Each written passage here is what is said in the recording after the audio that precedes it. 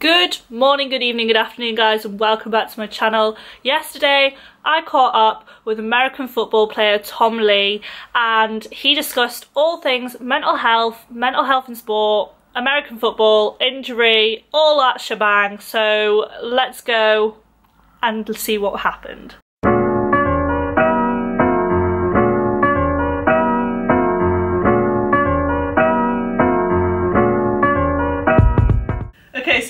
Did you get into American football? Um, so in secondary school, in like kind of my classes, there was a group of five of us, I think, and like we all kind of had an interest in it.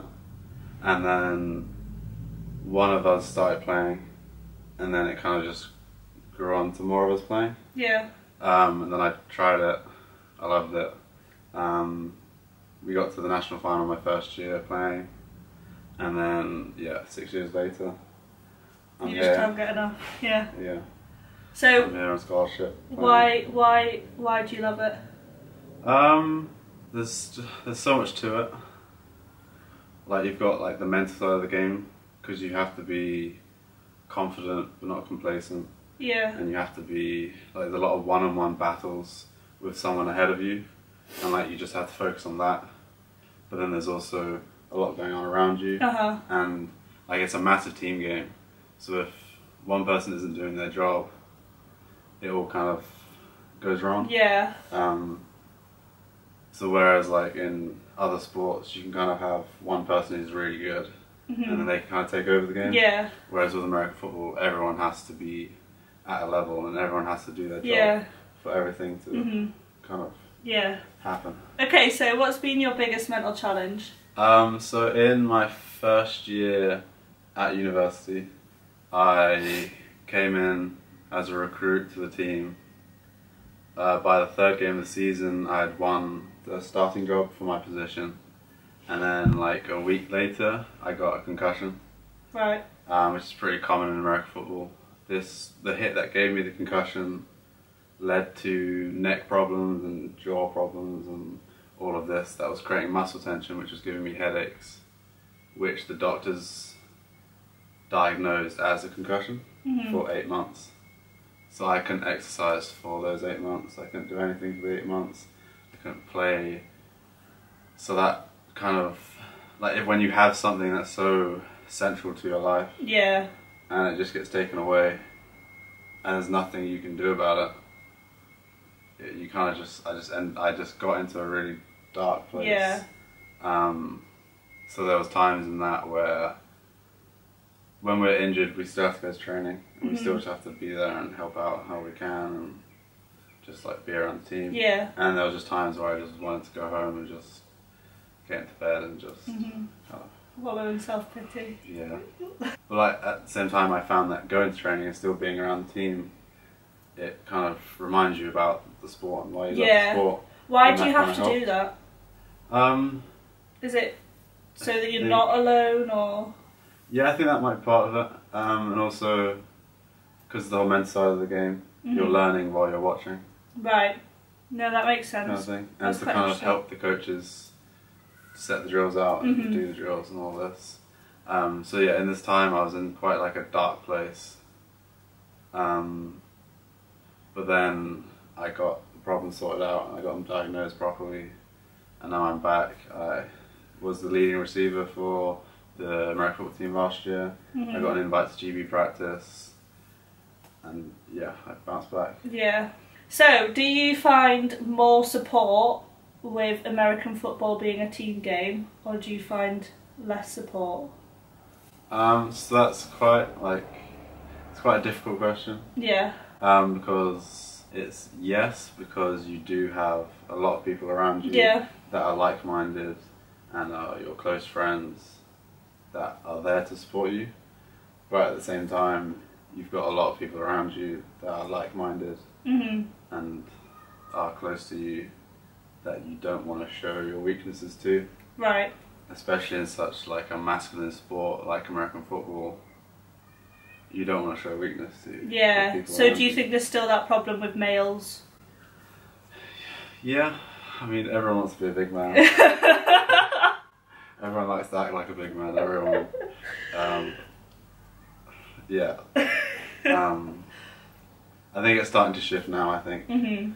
a lot of it's there's less stigma around um, like mental health specifically. Uh huh. There's less stigma around it. But yeah, everyone likes to Yeah. act big and Yeah. not show weakness in front of their Yeah. friends and all that. Yeah. Okay, so you run more than a game. Yeah. What is it?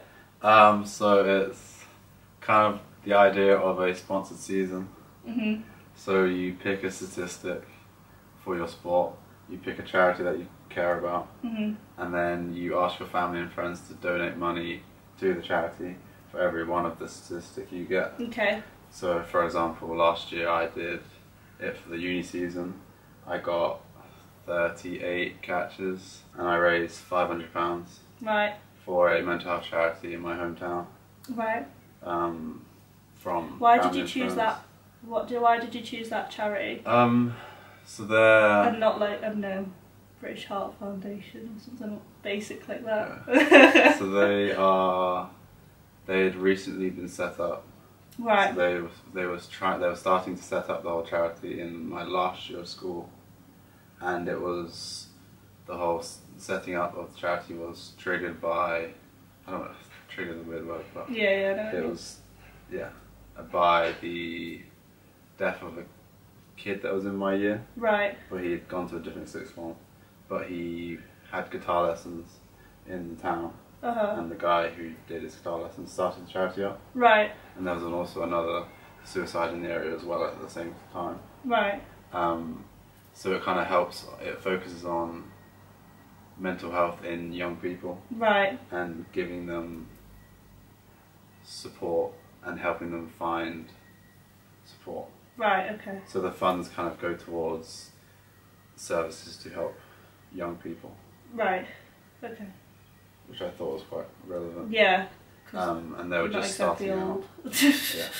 And like they were just starting out as well, so I wanted to help them. Yeah, cool. What would you like to see in the future for um, American football? Fucking hell. That's probably like mental health in sport. Okay, so what would you like to see in the future for American football? Um, so really, this is kind of specific to the uni. Yeah. Um, there seems to be quite a stereotype around the Yeah. team. Mhm. Wouldn't you say so? Mhm. Yeah. Yeah. Yep. Um, so, and I think that's quite ongoing throughout the UK. I think the American football teams at each uni are quite, they have a stereotype, Yeah. whether it's granted or not. Yeah. Um, and really, I think with our kind of team, if you get to know us, you then like us. But then if you, but then like if you don't really know us, then you kind of see the stereotype. yeah. Wouldn't you say so? Yeah. Yeah. I would agree with that. Um, Is there anything else you would like to see in the future? Uh, so really, well, isn't doesn't have a lot of funds at the moment. Uh huh. Um, so if you look at Germany, they're playing in stadiums and Yeah. they have loads of money to get new kits and all this Mhm. merchandise and all this. Whereas here, it's just not really there. Yeah. Everyone's kind of playing at a local park, like Okay. kind of thing. Um, so, well, not everyone, but a lot of the teams are just Mhm. playing in their local park. Um, so yeah, funds are a bit of an issue, um, and I don't think until that's kind of sorted, they can really start looking into mental health support Yeah. and kind of getting that kind of Even like physios sorted. as well and stuff Exactly, like yeah. that. Yeah. Yeah. Um, so yeah, everything we do is independent. Yeah. So if you want to see a physio, you have to go see them Yeah. yourself. Like the Yeah. coach can send you links to places, but you kind of just Yeah. have to deal with it yourself. Uh huh. So, how would you? Do you think that's UK sport that needs to provide more funds, or do you think that it should just be like a fundraising thing, or Um, you know, so, everybody goes backpacking at the local Tesco's? Yeah, we did it the other day. oh my We god. did it yesterday. Um, I'm not really sure. Like if you're looking at the European teams, they all have sponsors. Right. Like one of the teams was sponsored by Samsung for a few years, Right. Okay. Which is huge. There were a lot of issues with that sponsorship, but Yeah. they were sponsored by Samsung. Uh-huh. And they have all these sponsors which bring in money, Uh huh. kind of thing. So that I think that's like an idea, Uh huh. um, a way to get in like a lot of money. Mhm. Thank you so much to Tom. Um, his Instagram you're seeing now, and please, please follow us on Instagram for the mental health and sport page. It's really growing, and I'm super excited. So thank you so much for Tom, to Tom for joining the movement, and I will see you guys in the next one. Bye.